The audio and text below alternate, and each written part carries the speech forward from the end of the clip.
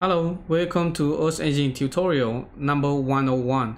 In this video, I'm going to show you how to visualize a LiDAR point cloud in Jupyter using just one line of code. So LiDAR stands for light detection and ranging. Now, it's a widely uh, popular dataset uh, that uh, format that's used in remote sensing. And so in this video, I'm going to show you how you can use Python and Jupyter to visualize the data. First, let me show you what the output looks like. It'll be something like this. So you can um, visualize that in, in 3D and then you can zoom in, you can zoom out, you can rotate. Uh, you can also change the uh, the color map, like what kind of color you, you want to use to visualize the data so that you can see uh, the gradients um, changing from, for example, blue uh, low elevation to red color uh, represent uh, high elevation. So those clearly, those are basically trees you build a C building, something like that. So um, first, uh, let's um, open the, uh, let's download the Jupyter Notebook example. So go to geemap.org and then uh, tutorials, scroll down to the end, find number 101, click notebooks, and then upper right corner here to download this one to your computer. Okay, and once you have downloaded it, you can open that using Jupyter Notebook. So keep that in mind this notebook requires some uh, optional dependencies of geemap. So uh, for example, the Open3D, and you can also install the optional dependencies using this one, geemap, uh, uh, square brackets, LiDAR. Uh, that means some of the optional dependency is going to be installed. The reason that it's not a required dependency because it's not, this is only used once um, in geemap, so it's not widely used. And some of the packages are quite large, so I don't actually include them in the required uh, dependencies.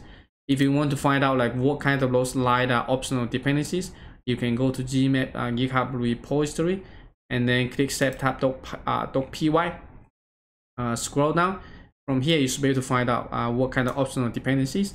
ipygany, laspy, Panel, pyntcloud, PyVista, and also Open3D. So I don't actually include Open3D because this is a huge uh, package. It's like I think over 400 megabytes, so it's, it's, it's quite large. And I don't e even include it in the optional dependency. So you will need to install all of them uh, if you want to run all, uh, all the examples uh, in this notebook. Okay. So once you have it installed it, then we can uh, import the libraries. And so in this example, we're going to use a sample LiDAR dataset uh, covers, I think, um, Madison, a city in uh, Mississippi, and it's 52 megabyte. Uh, the uncompressed LAS file is 109 megabyte, so it's a pretty uh, decent size of a LAS uh, data set. And so if you execute this, it's going to download the notebook to your current working directory uh, if you don't already have the file. So uh, since I already downloaded earlier, uh, you'll be able to see this one here Madison uh, Madison LAS. And um, if you want you can open it using desktop desktop.js for example QGIS so let me show you like if you come here uh, you can directly drag and drop the data layer. Let me remove that uh, first just to show you. All right so just come here drag and drop the file and then you should be able to see here. Um, it also automatically give you all the color. So the classification quite nicely. For example uh, ground ground color to low vegetation high, uh, high vegetation building something like that. You can zoom in you can zoom out. Uh, you will be able to see the point. So this has millions of points uh, just basically a collection of points. And now you can only visualize this in 2d um, but uh, you should be able to find some uh, optional uh, install some additional plugins to visualize them in 3d but we're going to do that here in this notebook just uh, using a Jupyter notebook because uh, we want just to run them in the browser. We don't want to install any desktop uh, software if uh, you don't have if you don't have access to that environment. So first let's uh, read the data. So if you use geemap it's just one function read uh, underscore lidar and the file name. So pretty simple. And once you have read this one it becomes a lidar point cloud. It becomes an object. Then you can access the attributes. So for example, las dot hit tag, you will see a list of available attributes you can access. And so first one here, we're going to look at is the, uh, the header. So you can think about like a metadata information. Uh, it shows you the versions of uh, the version of the LiDAR data. So it's 1.3 uh, LAS format. and it's a point format. If you want to see, for example, how many points in there, you can use the point count. The point count shows you here in this example is over 4 million points. So just take single file, it contains information uh, about 4 million points. And even to see more, you can hit tab. You will see uh, here we have a quite uh, comprehensive list of attributes that you can access, right? And next, let's take a look at like what kind of available attributes you can access. So there's a las point format. Uh, this one is called dimension names. Uh, you can think about just all the uh, available attributes for each point. So uh, we have 4 million points. Each point has this attribute information. You can think about just like a file that you have each row represent one point and these are the, all the names of the columns right and you have millions points you're going to have millions uh, uh, rows if you use shapefile but the lidar uh, the LAS format is very uh, efficient so it doesn't store as the uh, the shapefile but essentially they're the same thing that uh, each point contain this kind of information. And so next we want to show you how you can retrieve the data. You can directly use las.x uh, you'll be able to access uh, all the information the information for all the points is an array. So take a look shift tab right this is in the array. And this is essentially the kind of the longitude. So x would be the longitude y would be the latitude right? And then so g would be the uh, elevation. So you can take you can get access to all the numbers. And if you want to access all the x y z altogether you can just uh, lowercase dot xyz and you will be able to get at least basically still an array. But each item each element is a three um, elements uh, list. So it will be the x y g right so uh, for example over like two uh, 2 million something so the point is going to be different so it depends on the location and you can access this directly using the xyz the next one will be useful uh, will be the intensity intensity. So sometimes people would like to use this one.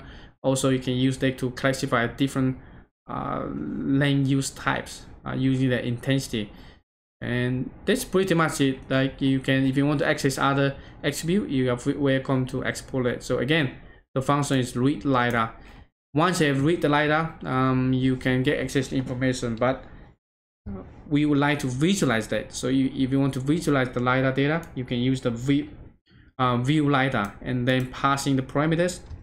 So if you press shift tab on, uh, on your keyboard to bring up the help documentation, uh, the file, file name, CMAP, uh, the color map, what kind of plotting backend you want to use, and also what kind of background color uh, you want to use. So uh, you can enter additional arguments uh, if uh, the plotting backend supports that. So here, we're just passing the file name. We're going to use the terrain uh, color map and the default plotting backend uh, will be PyVista. So if you don't provide, uh, you'll be to use the PyVista. Uh, PyVista is a, a, an open source package that used to um, visualize data in 3D. So it's quite interesting. You can check out uh, GitHub or Google it if you want. But this is what it looks like the output, right? So you can zoom in, you can zoom out. You also see this one here. This will be the uh, the legend also the color bar they show in here and then for example xyz right so you can zoom in you can zoom out you can rotate and if you it's slightly there's some lag but it's not very smooth but it works just fine. So if you zoom in right so you see all the points. These are all the trees right? Uh, and then if you continue zooming eventually you'll be able to see all the points right? So as i mentioned earlier we have over 4 million points in, in this file so it's a very dense uh, lidar point cloud. So you can zoom out right? You can see the building. So blue color represent low elevation and the brown color and white color represent higher elevation. So you can zoom in you can rotate right? Pretty nice. And just one light code that's it. So next i'm to show you the other plotting backend so this one use ipygany oh by the way here the color map you can change to whatever color map supported by matplotlib so let me show you how can you find out what kind of color maps are available. You can do import geemap dot color maps as cm and then uh, the cm dot uh, i think it's plot uh, this one takes a while. Okay plot color maps. And it will able to show you a preview of all the color maps so you can get the name. Uh, if you're passing uh, an invalid name here uh, it's going to tell you that uh, it's invalid. So just want to make sure that uh, if the terrain the uh, color map is not the one you want you can change it to other color maps okay? So take a look at this one. It's a huge list of color maps. Uh, hundreds of color maps right? So for example if you want to change to others let's say uh, you want to change to about this? For example uh, turbo for example right? This change to turbo. So just pay attention to here.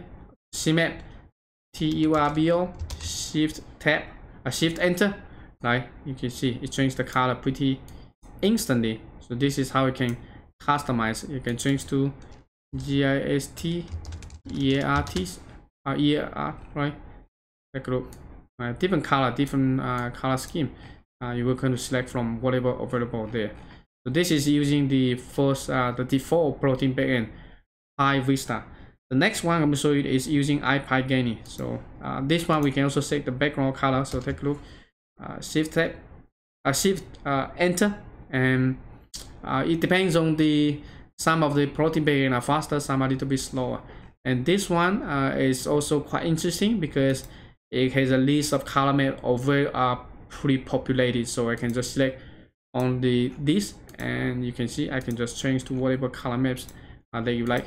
The list is not as comprehensive as the all the map matplotlib uh, color map, but it's still quite nice that you don't need to find out the name manually. You can just select from the list, and again, you can uh, you can also zoom uh, zoom in, zoom out. You can also rotate uh, to see that in 3D. Um, you can also have the color bar, so this is a kind of combination. But I feel that this is also a little bit uh, it's not very smooth but again it works just fine. Uh, okay so the second one is ipygany the third one is uh, panel. So panel is also another very popular python uh, package and they are also very much very similar right? The function the arguments are the same. You just change the plotting backend that's it. So shift enter uh, you'll be able to visualize that in panel and those are those are the three plotting backends that you can install using geemap square brackets lidar so they are all the optional dependencies uh, for for geemap. Okay so take a look. This one is much smoother but it's uh, it's a little bit small and uh, it does not have the color bar. So i'm not sure because i'm not quite familiar all these packages and so i don't know how to add yet but if you know that let me know so this is how we can visualize that. And I believe you can also change the color for example turbo. It might be a bit slower so depends on the climate depends on the plotting backend so you just need to be uh, patient for this one. And once you see this one we, we can change to see the last uh, last one. Okay so this is turbo okay? And this is how we can visualize all right last one open 3d uh, personally i like this one the most uh, because you all the other three uh, plotting backends you just create a new code block beneath the source code uh, but this one actually generate an independent one. Let me see here. Hmm. it's not popping up. Let me re uh, clear all the outputs let me run this one again sometimes it's just a little bit buggy. So the file name and that's it.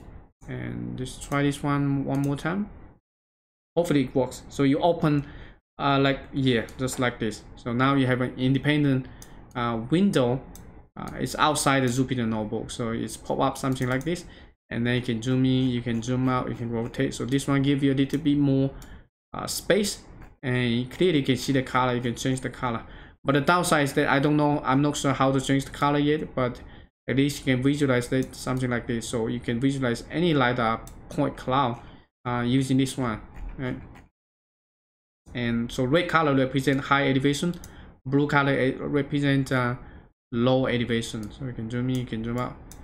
the downside is that it does not have a color uh, color bar uh, in here so you don't really see the absolute elevation of the point cloud. But it looks pretty nice right? So if you zoom in you see uh, many more points in here. After you finish just click the close button upper right corner and then to return to the, to the notebook right? That's it. And again just to recap what we did uh, you use the read lidar function to read the lidar data and then you can access all the available attributes. If you want to visualize the data use the view lidar function. And so here you can change the plotting backend uh, just one of those right? Uh, four of four of them. And you can also change the color map. So if you want to see the complete list of color maps just use uh, the color map function and then cm the color maps. You will see the list and then you can just grab the name replace this then uh, the color map will be using the one that you specify okay so that's all for this uh, tutorial. I hope you find it useful. I will see you in the next one. Take care. Bye bye